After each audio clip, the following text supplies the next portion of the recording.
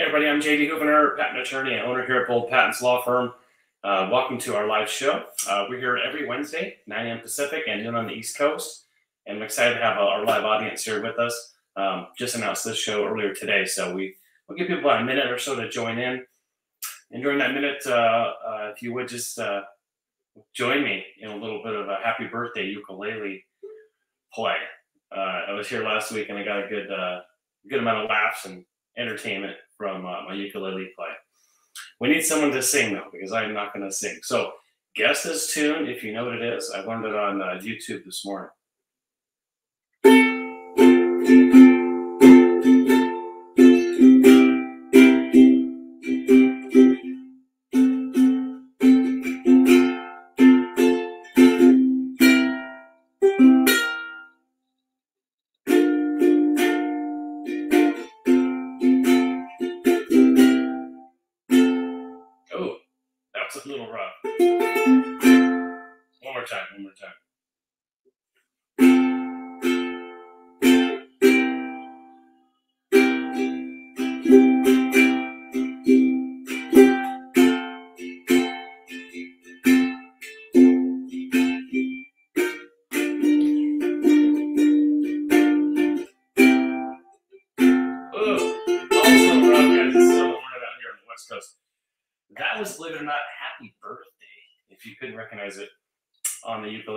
Was looking online.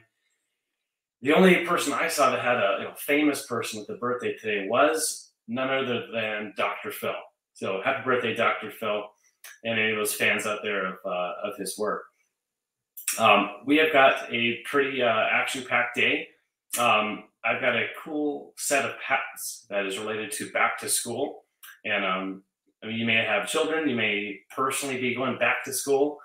And it's an exciting time. There's a lot of products and uh, things that are new. Certainly with with COVID, uh, with different types of uh, you know solutions that are needed for personally protecting uh, you know, against viruses. Um, of course, with all the new technology as well. So I've got three different uh, inventions to show you. One, a unique pencil. Believe it or not, there are still new pencils being developed. Uh, the second is a new virtual classroom um, which is just invented, just patented just this month and two months ago. Um, and the last one is a backpack. Um, so yeah, there's still new inventions uh, related to backpacks out there. So we'll go through those three as soon as we um, get started here. Uh, I will prioritize live and uh, Q&A. So if anybody's online from our uh, YouTube or LinkedIn or Facebook community and you've got a question, uh, fire away in the comments. I will take that as a priority. Uh, if we don't get any live questions, I will move on to our avvo.com questions, where I've got a 13 trademarks and one patent question. So I'll just try to do what I can to get through those trademark questions uh, with the time we have allowed.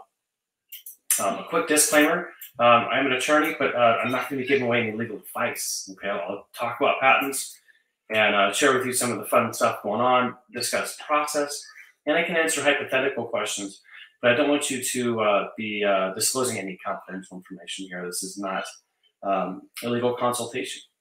But if you believe that after having this maybe meeting with me or after doing some research and you want to move forward and, and start to see if now is the right time to move forward with your invention, I'm giving you a link right there to schedule a free screening session with one of our representatives. And for taking action for doing that, I'm going to give you a copy of this book. It's a free PDF of Bold Ideas, The Inventor's Guide to Patents and it's going to give you the whole kind of lay of the land, what what patents is all about, what the difference between patents and trademarks is, um, anything you might need to know in in between. Uh, so what I'll do is, uh, I'll, without further ado, I'm going to jump right into our our topic today, which is back to school. I have got uh, yeah, I've got three patents I want to show you. So I'm going to share my screen uh, with you. So I'm going to take a moment. There we go. All right. Perfect. So this first invention is is actually one that was just granted less than a month ago uh, to the inventor Hital Kurani. And this is a writing device. This is a writing device. This is so cool. This is, um, if you can picture kind of a James Bond pencil for teachers, professors, this is it. Uh, this pencil pretty much does it all. Uh, I was blown away with how many different functions uh, this writing device, this pencil, does. And you can kind of see with that image, and I love going to the drawings. Look at that bad boy, the Swiss Army knife of pencils. Mr. Karani, whoops, has really helped us kind of take pencils to the next level. So you can kind of start to see what this thing does. It has a fold out protractor.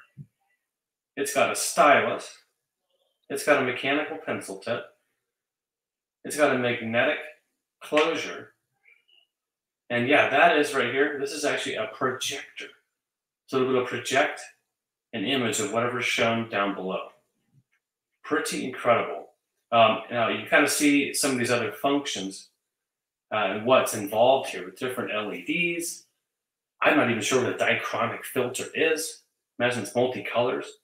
Um, optics, condenser, light pipe, prisms, optical lenses, uh, imaging systems, microphone, uh, different types of touch sensors, of course, Bluetooth and Wi-Fi enabled. This is a super pencil. Uh, so believe it or not, this is this is a granted patent. I can imagine this kind of for like you know your entry level or maybe your first you know, college level trigonometry or geometry level class. Let's take a look. Uh, there's a cool image up above. And how you might actually use it. How it's connected to different computers. I like scrolling down past the written description to see what's claimed here. You know what uh, what the inventor actually owns is listed here at the bottom in the numbered set of claims. And so we're down on page 41. Uh, multifunctional writing device comprising. And so all these elements, right, are part of this claim. Okay, it's part of what they own. Meaning, if you uh, if you're out there making smart multifunctional writing device, and it has all of these elements, all of these things, a hollow body, a first writing member, a second projector, and so on, you will be infringing this patent. Okay, uh, but it's got the ability to have a mechanical pencil, a drawing tool, compass needle, stylus, eraser, flash drive, imaging system, projector pen, set of cameras, and an attached projector stick. So pretty darn cool. I was looking online to try to see if there was any type of a product like this available to buy, and I couldn't quite find it. Uh, but uh, there it is, patent number 11 million. 84,318. Congrats to Mr. Kirani. So, who needs an upgrade in their pencil? I certainly do. Let's check that out. All right, any live questions on that? Let's see if we have anything back at our, our studio.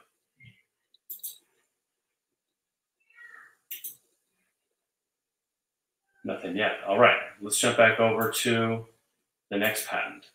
So this one was issued a couple months ago in July of this year.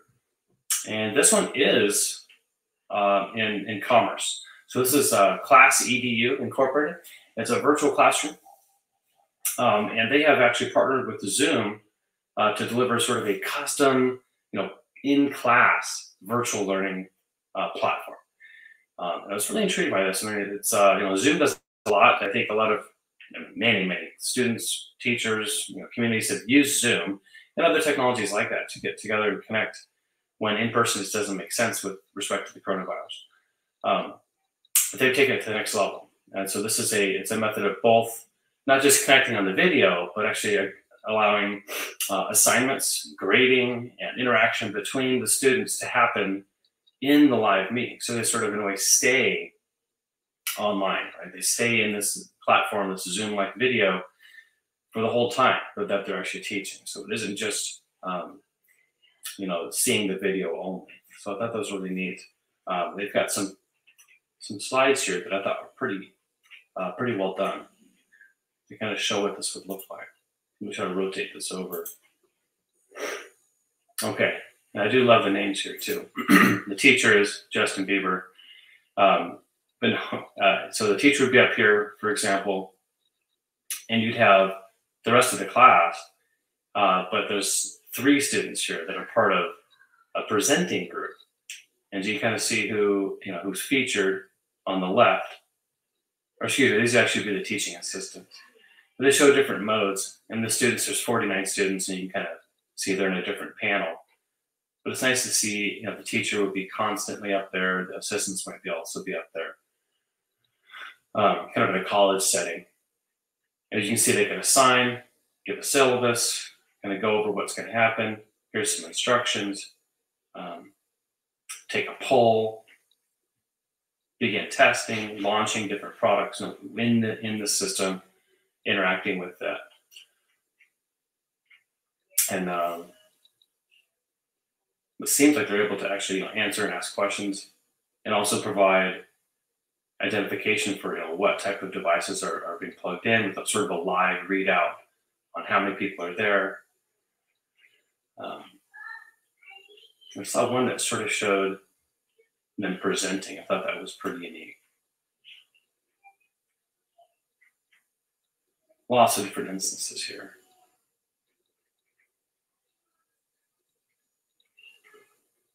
We play videos. Yeah, here we go. So you got Ronaldo and Elton John presenting, teaching assistants are up there, and then the rest of the class.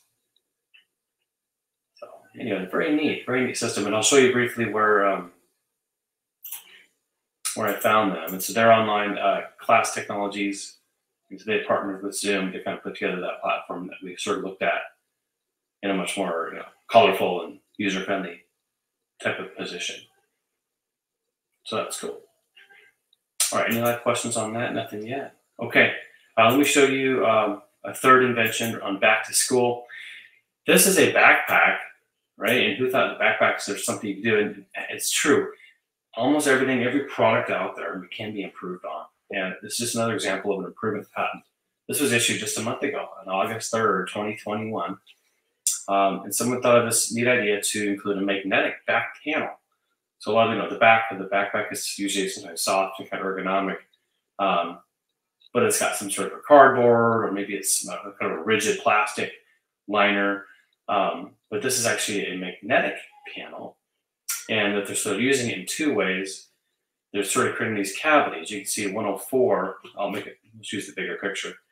Uh, this rectangle area, and then they'll show a section that's unzipped that it'll create a little cavity, an opening.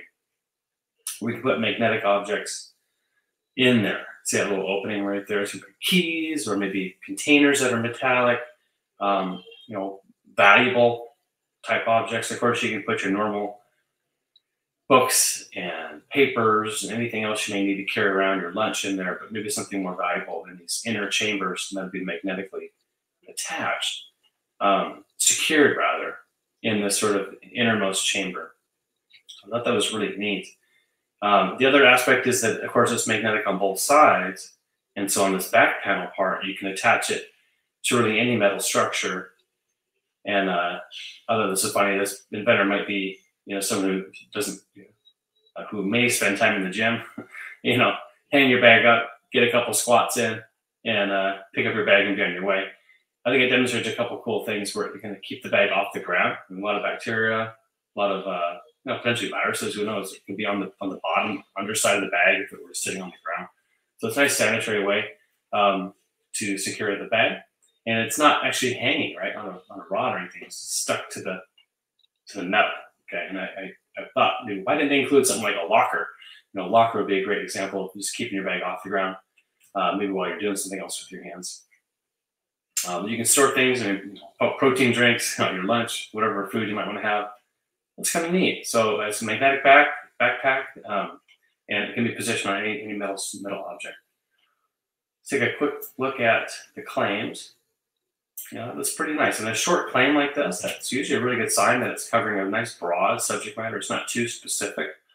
Um, so it's got a storage compartment with an inner volume, shoulder straps, back panel having you know, centrally positioned uh, along the vertical spline, and one magnetic position of the back panel the, on the central position.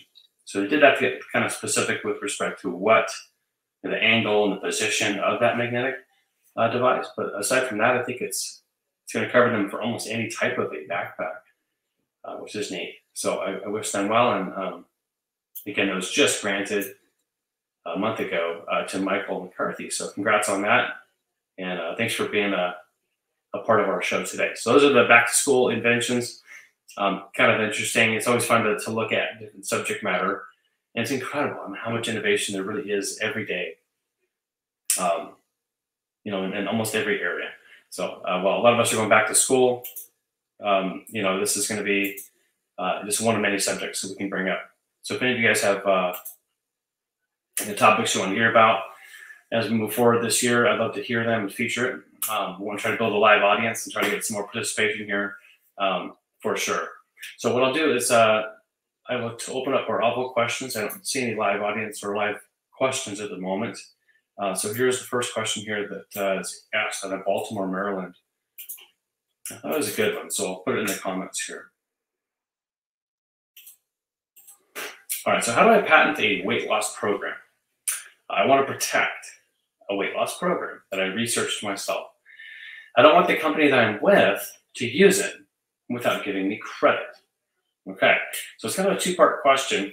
Um, I'll take the first first part, which is you know eligibility and you know, patent patentability of a weight loss program. And um, I will say that certainly a, a novel, meaning a brand new, first of its kind in the world method, right? Method of of you know eating or working out or some way of losing weight. If there's an actual process there, that is patent eligible. Absolutely. If it's the first time and it's not an obvious change or iteration or version of a different workout plan that's come before it that's been published, it's eligible. And a weight loss program is certainly part of that, that spectrum of a, of a method, a method or now, I will say that you know it's probably going to be worth your time to think hard about whether you want to go down the path of seeking a patent protection for it. Um, you know, is it going to be something that's going to be enforceable, uh, easily detectable, even if you get the patent granted? Is someone are, are you able to tell that someone else is using your patented system, your patented method, um, without uh, without you kind of looking inside and seeing how they're consulting? So that's something to make sure you think uh, think about.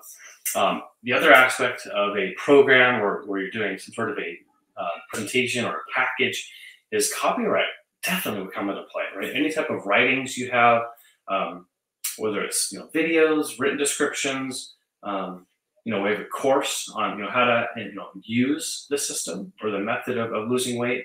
You want to think about how to protect that using copyright.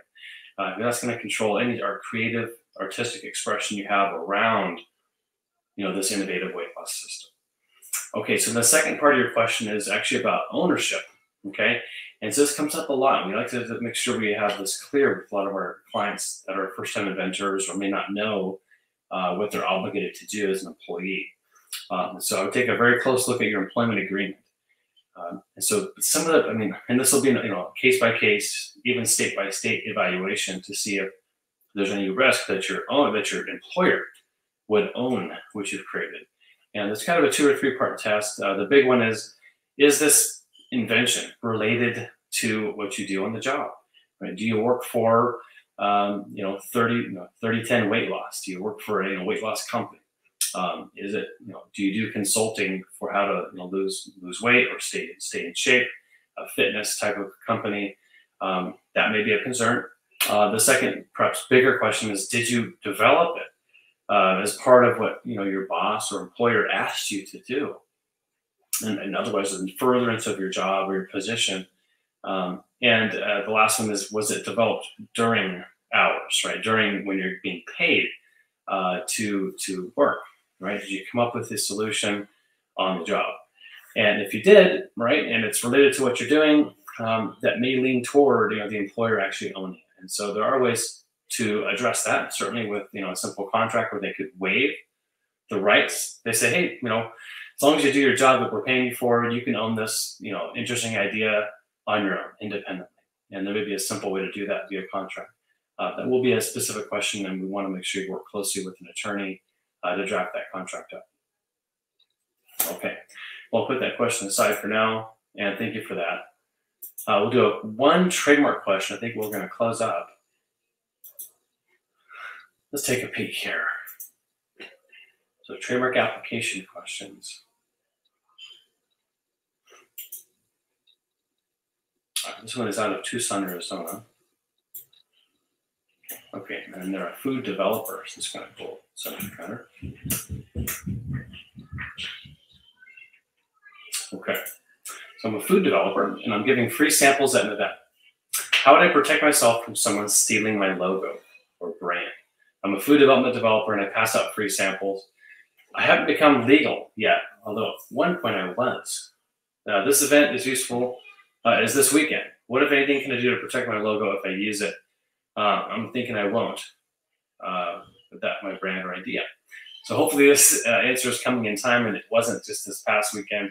Uh, but in any event, um, you know, free samples, um, you know, when you're out there showing off your company, right, and, and, who you are and what your what your logo is, what you want your company to be known for, um, in a way, you know, you're you're saying this word, this logo represents our company's product, right? Our our company's goods, and I want this to be, you know, the the symbol. I want the customers to start to get to know this as our quality and represent our our our products.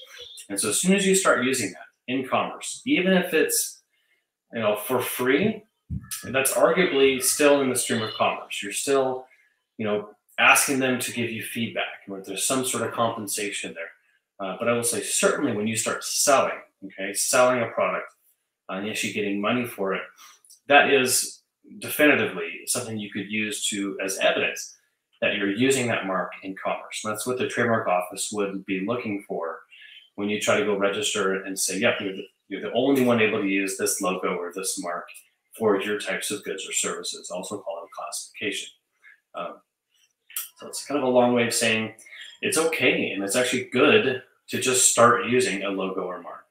Um, to be even wiser, okay, the best case scenario is to actually work with an attorney, a trademark attorney, to conduct a clearance search, right? To make sure that uh, before you just launch, that you're not going to be stepping on the toes of someone else. I mean, someone else may already have a registration for that type of logo or certainly that type of word that you're trying to be, um, you know, make uh, make as yours. And you may not know it, right? Innocence, unfortunately, is not uh, does not absolve you of liability.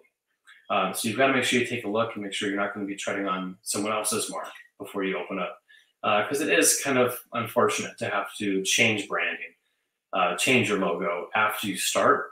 Customers really lose some you know faith and trust in you that you're, you're going to be there forever or that you're going to have um, you know always be changing. Right? Is something else happening? Is your product changing too?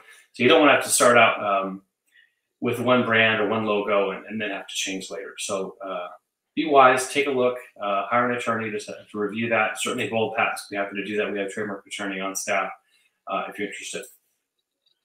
Okay, cool. Good questions. I'm going to put my information here below so you can get a hold of me personally if you have any questions. And I've got a text only line. You're welcome to text me, and I'll get back to you usually within a couple hours if it's during business hours. Um, so again, uh, I'm JD Houvener uh, with Bold Patents Law Firm, owner here, and also patent attorney. I'll be here next week, Wednesday, and we'll talk about another subject here. Have a good day, everybody, and happy going back to school. Bye bye.